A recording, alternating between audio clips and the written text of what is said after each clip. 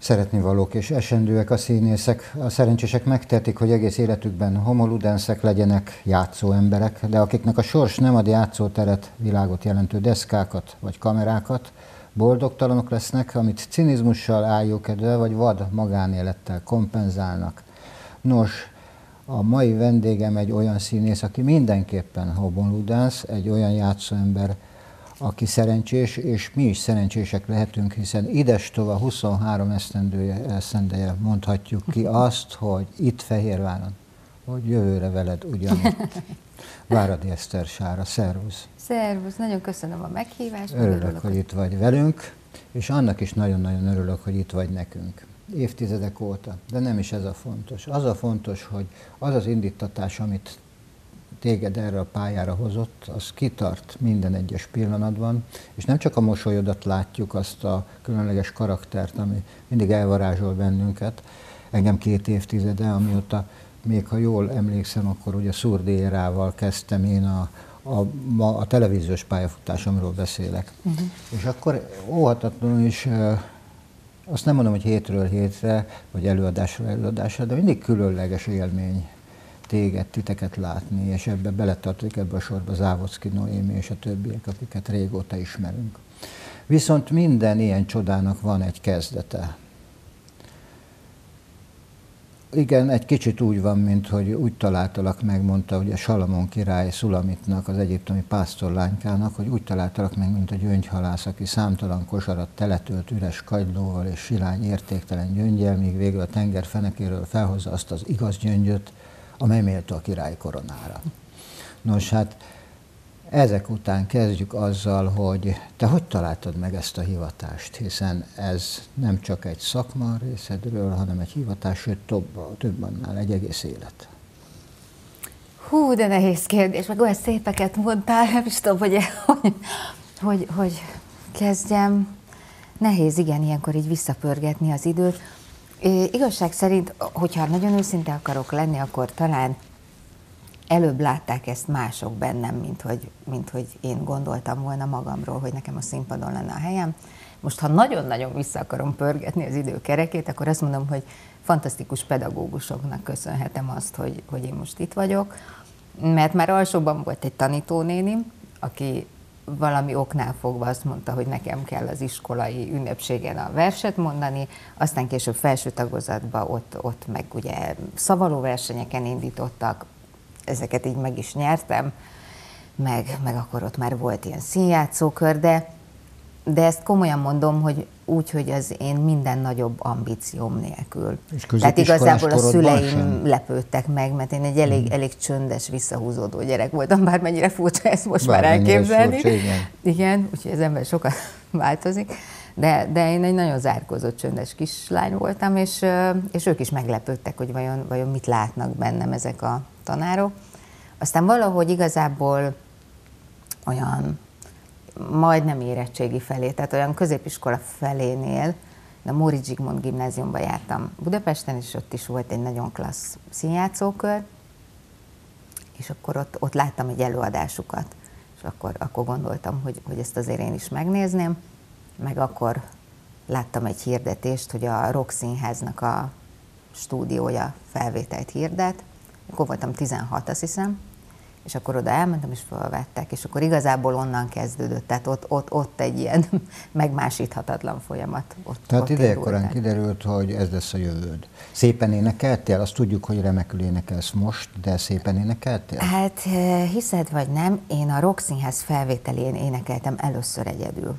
Tehát valahogy meg se fordult a fejembe, hogy ugye ez egy zenés színház, engem csak az érdekelt, hogy színház, és hogy, hogy oda lehet menni még érettségi előtt tanulni, és nem is gondolkoztam ezen, úgyhogy amikor a felvételére elmentem, és elmondtam a verset, monológot, vagy már emlékszem, hogy mivel készültem, és mondták, hogy jó, akkor énekeljek valamit, akkor rettenetesen zavarba jöttem. És azt például arra emlékszem, hogy a Megkötöm lovamat című névdalt énekeltem, mert hirtelen zavaromban semmi nem jutott eszembe, hogy mit kéne énekelnem, és hát népdalokat ismertem, és, és akkor az, és ezzel vettek fel. Tehát felvettek, és az, az így tökéletesen rendben van, hiszen utána színházba járó lány voltál, de és az Operett Színház színészképzőjébe felvételiztél. ez sem volt egyszerű. Azért nem mondom, hogy inkább egyszerű, egy picit igen. így utólag, utólag visszagondolva, a, a, mint hogyha mint hogyha a sors vezetett volna valami felé, nem akarom ezt így túl misztifikálni, de az biztos, hogy nem az én irányításom alatt folytak az események. Az Operett Színházba úgy kerültem, hogy közben a szüleim azt mondták, hogy nagyon szépek ezek a színészi ambíciók, de tessék egy normális diplomát felmutatni, úgyhogy én közben felvételiztem, felvettek a tanítóképző főiskolára, ezt elvégeztem, és közben játszottam itt-ott színházban egy-egy előadásban, de, de hát az volt a, a meggyőződésem, hogy, hogy hát ennek így kell lennie, akkor így kell lennie, hogy engem nem fedeznek fel, akkor, akkor nekem úgy látszik nem való ez a dolog. És akkor, amikor diplomáztam a, a, a tanítóképző főiskolán, akkor volt egy nagyon egy csodálatos énektanár, Kovács Brigitta, aki az Operett Színház művésze volt, és ott az épületben ott tartotta az énekóráit, és hozzá jártam, de szinte hobbiból. Tehát akkor egy picit én le is tettem erről az egészről. És e, úgy valahogy úgy elkezdtem magamnak egy ilyen, egy ilyen tanári pályát elképzelni, hogy akkor én majd ott föltalálom magam, meg jó lesz, meg oda is nagyon sok kreatív ötletem volt. És akkor mielőtt a diplomámat átvettem volna, akkor a Brigi, aki ugye tartotta nekem az énekórákat, akkor azt kérdezte, hogy most mondjam meg őszintén, hogy én tényleg tanár akarok lenni. És mondtam, hogy igen. És mondta, hogy, hogy, hogy, hogy ez hogy, tehát hogy, én, hogy, hogy ezt így elengedtem, hogy, hogy én meg vagyok erről győződve, hogy, hogy, hogy akkor én most már nem leszek színész. És mondtam, hogy igen. És mondta, hogy az ő kedvéért tegyem azt meg, hogy itt a házban, ahova én oda bejárok, ott működik egy ilyen színi iskola. Ugye abban az időben még nem volt minden bokorban színi tanoda, meg színi iskola, hanem, hanem a színművészeti főiskolán kívül azt hiszem az Operett Színház volt, és a Górnagy Mária tanoda. Tehát ez, ez fette le a színművészeti oktatást. Na és akkor ezt megkérte, hogy menjek le egy emelettel lejjebb, kopogjak be, ott folyik az óra, és mondjam meg, hogy ő küldött. Ez így volt. Bementem, mondták, hogy énekeljek valamit, mondjak verset, elmondtam, elénekeltem, mondták, üljek le. És aztán óra végén akkor így oda sonfordáltam. Mikolai Laci bácsi, ő volt az osztályfőnök. Akkor mondtam, hogy hát akkor most én itt végigültem ezt az órát, most én mit csináljak, aztán semmi, gyere holnap órára. Mit szóltak otthon? Nem örültek. nem örültek. Hát szóval ott, ott már az operetben azért az egy komoly dolog volt. Tehát ott, ott azért ott a Megyesi Mária volt a beszédtanár, fantasztikus táncművészek voltak a Nem mindent lehetett megtanulni, mert külön-külön, tehát nyilván kell ambíció is. Tehát az, hogy rászántad magad, az egy óriási dolog. Viszont végigülni az egészen fiatalok között, mert nyilván azért voltak a korosztályi különbségek nem. is. Van, nem? Nem, nem, nem, nem. Tehát hát ez, ez nagyon gyorsan történt. Volt? Nagyon gyorsan történt, tehát... Tehát az gyorsan kiderült, hogy tehetséges vagy? Hát, de a saját Szorgalmas is voltál? Igen, Sem, igen, igen. Igen. Azt nem mondom, hogy tudatos, mert tudatos az nem voltam, inkább azt mondom, hogy mindig, ha volt egy feladat, akkor ezt nagyon lelkismeretesen És a műfajt önmagában megkedvelted? Megkedveltem, de én mindig egy picit kakuktojásnak éreztem ott magam. Tehát az, az nekem azért ott végig a fejemben volt az alatt a három év alatt, hogy én nem szeretnék ebben a műfajban lehorgonyozni. Tehát én, én soha nem arra készültem, hogy én, én mondjuk ott folytatom a pályámat, hanem, hanem, hanem én színész szerettem volna lenni elsősorban. Hát mégiscsak tudatos volt. Ebben a szempontból igen. Ebből volt is, volt is ott kis nézeteltérés, mert mert én azért nem, tehát hogy, hogy mondjam, egy picit más szemszögből néztem azt az egészet, mint aki, aki feltétlenül csak azt szerette volna csinálni. De hát nyilván azért próbáltak hatni rá, hiszen gondolom én, hogy már akkor is jól énekeltél. Igen, és szerettem is énekelni, tehát ezzel, ezzel úgy nem, nem, sőt, nagyon sokat, tehát ezen a területen egyrészt a, a, az ének tanulásban, másrészt pedig a, a zenei tájékozottságban, azért én ott nagyon sokat tanultam de, de ez, ez soha nem fordult meg a fejembe, hogy én csak azt csináljam. Honnét és hogyan jött az első invitálás? Voltak-e már terveid, hogy hova szeretnél szerződni, hiszen nyilvánvaló, hogy mindenkinek vannak álmai végzősként, aztán vagy teljesülnek, vagy nem. Hát akkor folytatom ezt a e, rólam, e, most ahogy így beszélek róla, hát nem, nem tudom, milyen kép alakul ki, kicsit szétszólt, hebehúrja. Tehát, e, szóval az az igazság, e, tényleg őszintén elmondom, e, amikor végzősök voltunk, akkor az én osztálytársaim, ugye abban az, abba az időben még ez egy szerintem nagyon jó szokás volt, hogy majdnem az összes színház, főleg a vidéki színházak tartottak általános meghallgatást. Uh-huh. És csomóan már nagyon tudatosan készültek arra, hogy ki hova megy, hova szeretne jelentkezni, mivel készülnek. És én egyszer bevágtattam oda valami óra előtt, és láttam, hogy hát akkor még ugye nem volt GPS.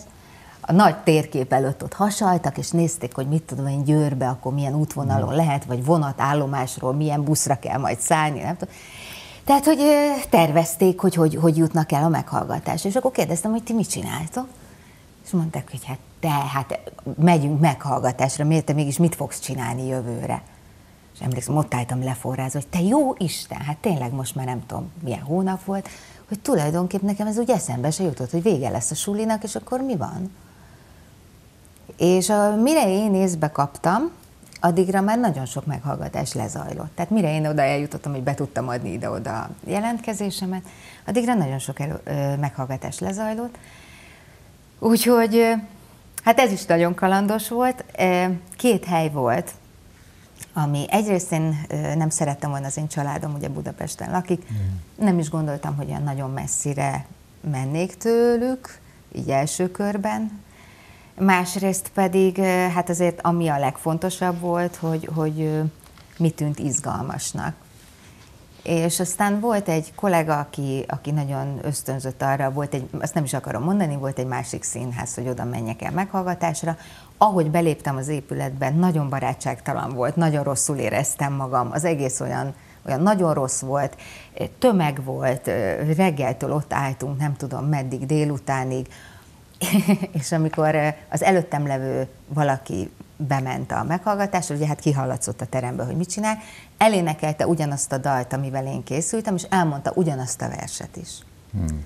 És akkor bementem, és hát nyilván nagyon fáradtak voltak már ott az ítész urak és hölgyek, és akkor mondták, hogy hát mondjam, hogy mit szeretnék. Mondtam, hogy hát lehet, hogy ez most nem lesz annyira nagy meglepetés, mert hogy hallottam, hogy már ez előttem éppen volt, de hogy én is ezzel készültem. És akkor erre nagyon, hát így utólag visszagondolva, én egy pályakezdővel biztos nem viselkednék így, de akkor azt mondták, jaj, ezt ne, ez mo- tényleg most, nem már, mm. valami más. És akkor onnantól én így befeszültem, és akkor elmondtam egy Pilinszki négy sorost, és megköszöntem a lehetőséget, és becsaptam az ajtót. Ez volt az egyik hely. A másik hely pedig Székesfehérvár volt, ahol bejöttem, és Haraszti Zsolt volt annak idején a, a művészeti főtitkár, végtelen kedvesen fogadott, és az egész olyan volt, mintha egy picit így hazaértem volna. Nem tudom, bejöttem, bejöttem a Vörösmati Színház épületébe, és valami olyan nyugalom szállt meg, valami olyan jó érzés, hogy nem, tényleg, most nem akarom ezt túl misztifikálni, de, de tényleg egyszerűen mondom, úristen, hát ez, ez jó, ez jó hely. És maga a meghallgatás is olyan jó pofa volt, Horváth Péter volt ugye akkor a művészeti vezető, ő, ő mindenfélét kért, de olyan jól éreztem magam, és hozzáteszem, hogy akkor itt arról nem volt szó, hogy állandó társulat lesz, mert akkor még csak egy produkcióra Igen. akartak összeverbuválni fiatalokat, és aztán pár hét múlva kaptam egy levelet, hogy szeretnék, hogyha ide szerződnék. És hát nagyon nagy dolog volt, mert rengetegen voltunk ezen a meghallgatáson, és és hát két... Így is történt, egy remek csapat jött össze. Igen. Én azt hiszem, hogy valamennyi korszaknak voltak csoda pillanatai. Tehát elindulva a Horváth Péteréktől a vendégrendezők, kismillió vendégrendező járt itt, nagy nevek természetesen, aztán a Szurdéra, de még előtte is nyilvánvaló, és akkor némi változás jött 2012-ben. Két, eh, egy ilyen változás mennyire visel meg, vagy tölti el várakozással a, a színművészt, hiszen mikor azt mondjuk, hogy jön Szikora János, és hoz magával három olyan rendezőt a művészeti vezetésben, mint Bagó Berci, Horváth Csaba és Hargitai Iván, és hozza magával azokat a színészeket, akik eh, én azt mondom, hogy bármelyik magyar színházban vezető színészek lehettek volna, akkor az itt lévők, akik vezető színészek voltak, akikre épült mindez idáig ez a teátrum, várakozással tekintenek ezekre az évekre. Ti hogy fogadtátok ezt a változást? Mert ez volt a legnagyobb és gyökeres változás. Igen.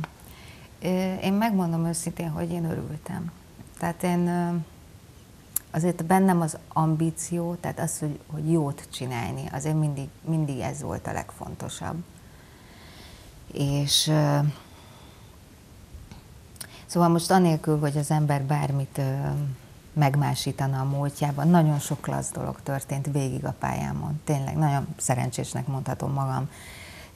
Fantasztikus igazgatók mindenkivel, én azt gondolom, hogy nagyon jó viszonyban voltunk. Minden igen, igen, igen. Tehát tényleg, tényleg nem akarok hálátlan lenni. De hát az ember, szóval én mindig nagyon fontosnak tartottam azt, hogy tudja, hogy, hogy a világ hol tart. És én mindig, mindig nagyon szerettem színházba járni, tehát láttam nagyon sok előadást más városokban, Budapesten, úgy igyekeztem, igyekeztem mindig magamat elhelyezni ezen a polcon, mert ez szerintem nagyon fontos dolog. És emlékszem arra az első szerződtetésre, és ott a Jánosék meglepődtek azt hiszem egy kicsit, mert ők is valami ilyesmire céloztak, valami hasonlót kezdtek el firtatni, amit most kérdeztél, hogy, hogy most ez nem lesz-e rossz, hogy, hogy most ők azért hoztak ezt, azt, tamaszt, és hogy, hogy nem is tudom, hogy fogalmaztak. Na mindegy, szóval, hogy én itt nagy kedvenc vagyok, és akkor, hogy ez engem hogy fog érinteni.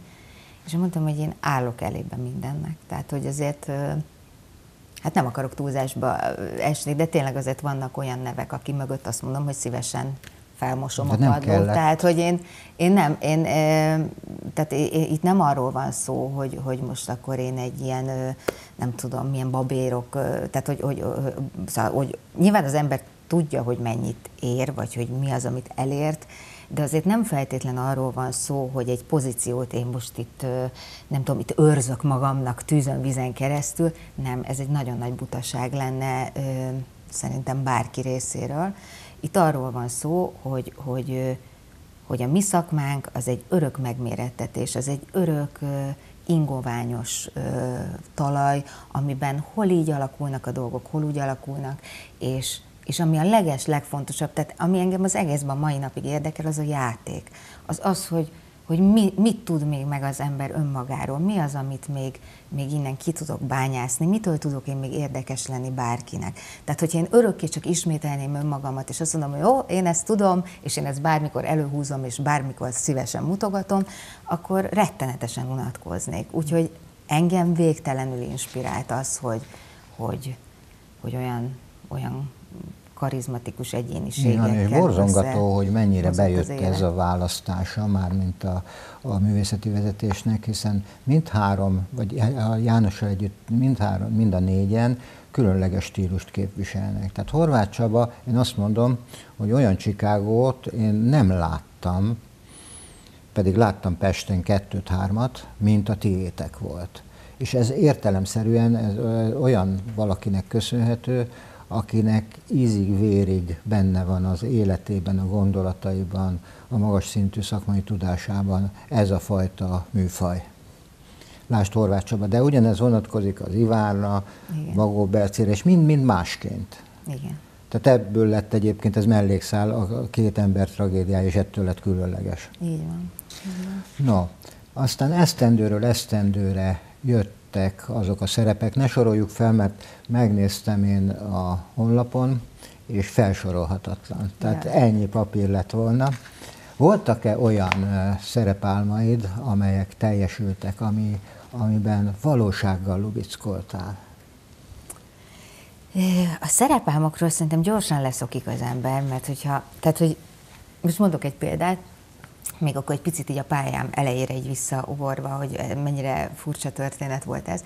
Abban a pillanatban, hogy leszerződtem Fehérvárra, tehát az első évet töltöttem itt, és még ez a meghallgatás sorozat zajlott, tehát mondjuk én szerződést kötöttem nyáron, már nem emlékszem pontosan, és akkor az első darabban, a Bob Hercegben benne is voltam, volt azt hiszem két mondatom, meg talán két sor szólóénekem, tehát Iglódi István rendezte, tehát azért ez egy jó dolog volt, boldog voltam, tehát ez volt az első, első feladatom itt Székesfehérváron, De közben én még elmentem egy meghallgatásra, mert hogy a Miskolci Nemzeti Színház is ugyanígy tartott meghallgatást, és nem azért, mert feltétlen ö, oda szerettem volna szerződni, hanem mert West Side Story bemutató volt a következő évben. Úgyhogy itt a szerepálom, nekem a West Side Storyból az Anita, az egy ilyen nagy álmom volt, csináltunk is vizsgát ö, az Operett Színházban ebből, és hát boldogan mentem oda, ott állt még rajtam kívül legalább 200 fekete hajú fiatal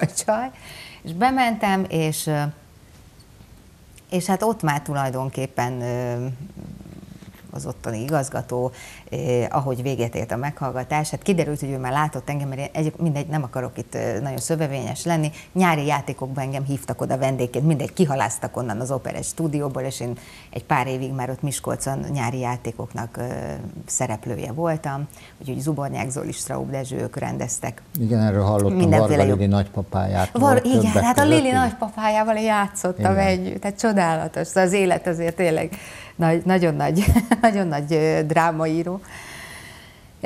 Szóval igen, igen, igen, és, és kiderült, hogy, hogy ugye a Hegyi Árpád jutott, aki akkor az igazgató volt, ő látott már engem volt, és akkor tehát mondta, hogy ő, ő azért most így gondolkodik bennem. Na mindegy, megtörtént ez a meghallgatás, utána fölhívtak, és mondták, hogy enyém az Anita szerep, viszont szerződjek is oda.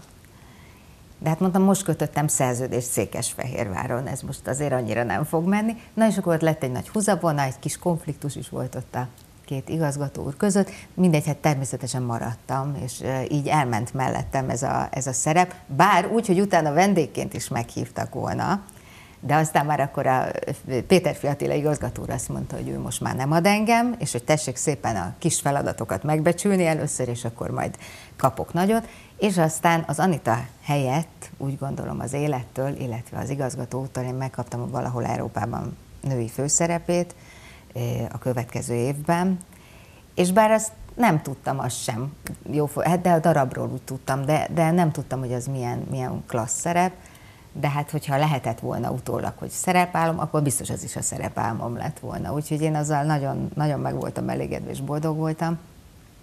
Elengedtem, elengedtem ezeket a szerepálmokat. Tehát ez, ez volt egy ilyen, egy ilyen történet. Igazából annyi olyan meglepetés várt rám az életben, ami, amit nem gondoltam, hogy, hogy ennyi örömet fog adni meg egy idő után az ember már nem is feltétlenül azt keresgéli, hogy, hogy mi az a szerep, hanem az, hogy kikkel csinálja. Igen, ez a kikkel nagyon-nagyon fontos.